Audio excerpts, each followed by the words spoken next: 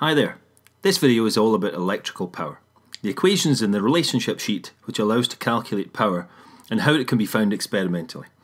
I'll be using two experimental setups, and this is the first. Here I have three lamps, one with a power rating of 5 watts, the second with a power rating of 24 watts, and the third 36 watts. Each lamp is connected to a joule meter, which measures the energy transferred. Each joule meter is then connected to a power supply, which is adjusted so that the voltage across each lamp is 12 volts. I'll switch on all three power supplies now and measure the energy transferred by each lamp in 100 seconds. That's 1 minute 40 seconds. So, in the lamps, electrical energy is transferred into light and heat.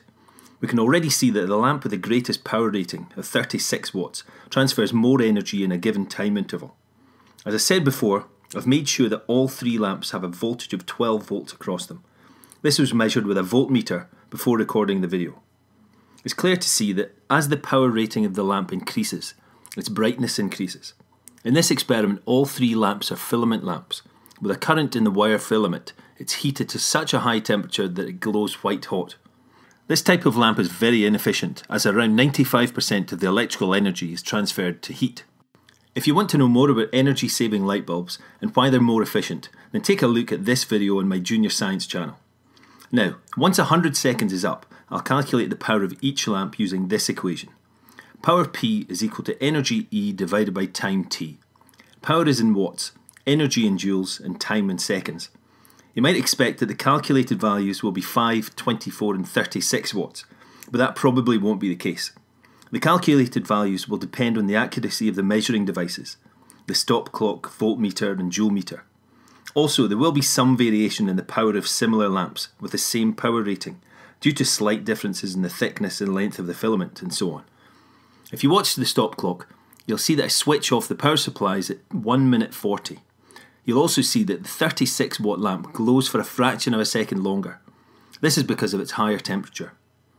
Using the equation then, the first lamp actually has a power of 438 divided by 100, which is 4.38 watts.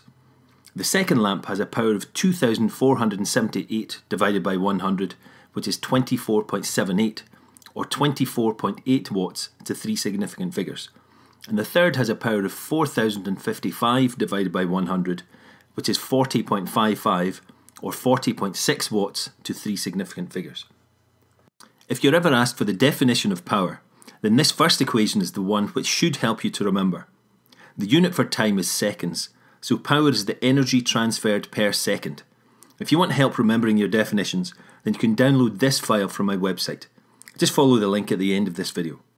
Now we'll get on with the second experiment, where we'll learn the other three equations for electrical power. You'll see I'm using a lamp with a power rating of 48 watts this time.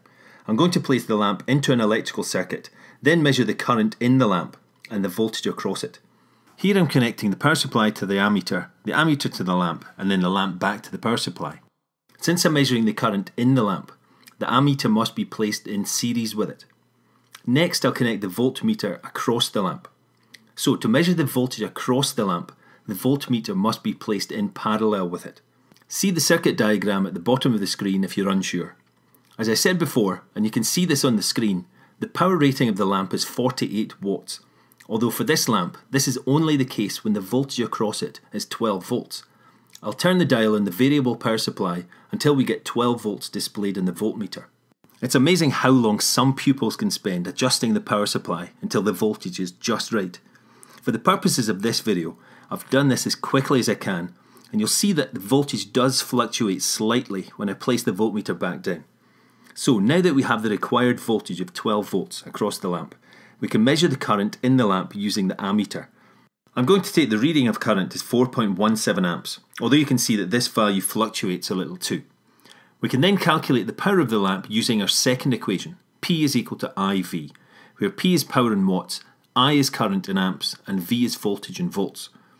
Using the values measured, this gives us 4.17 multiplied by 12 is equal to 50.04 watts. Since current was measured to three significant figures, we should write this value to three significant figures also. So calculated power of the lamp is 50.0 watts. As I said earlier, there's a variety of reasons why the calculated power of the lamp isn't exactly equal to its power rating. The last two equations for electrical power require us to calculate the resistance of the lamp. This can be done using Ohm's law, V is equal to IR. If we divide both sides by current I, we get resistance R equals voltage V divided by current I. Substituting into this equation, we get a resistance of 12 divided by 4.17, which equals 2.88 ohms. Here's the third equation for electrical power. P is equal to I squared R. By now you'll know what quantities the letters signify. So the power of the lamp is equal to 4.17 squared multiplied by 2.88, which equals 50.1 watts to three significant figures. There's a slight difference from our previous answer due to rounding the value for resistance. Finally, this is the last equation. P is equal to V squared divided by R. Substituting into this equation, we get 12 squared divided by 2.88, which is 50.0 watts. No great surprise there. The tricky bit when using these equations is working out which equation to use when, and also how to rearrange them when power P isn't what you're calculating, as it was throughout this video.